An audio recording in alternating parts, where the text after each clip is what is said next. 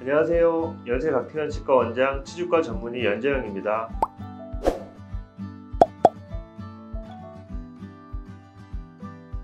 해당 부위에 치아를 다시 넣기 위해서 임플란트 치료를 하셔야 되는데 임플란트 주위염이 있어서 인공도가 약간 소실된 양이 크지 않은 경우에는 임플란트 제거하고 바로 임플란트 재수술을 하실 수도 있고요. 인공뼈가 많이 소실된 경우에는 짧게는 한 달, 길게는 3개월, 6개월을 기다려서 뼈 이식을 해서 기초공사를 한 다음에 임플란트 재수술을 받으셔야 되실 수도 있습니다. 추가로 궁금하신 점 있으시면 저희 치과로 연락 주시면 친절히 말씀을 드리겠습니다. 네, 지금까지 연세 닥태현 치과 원장 연재영이었습니다. 감사합니다.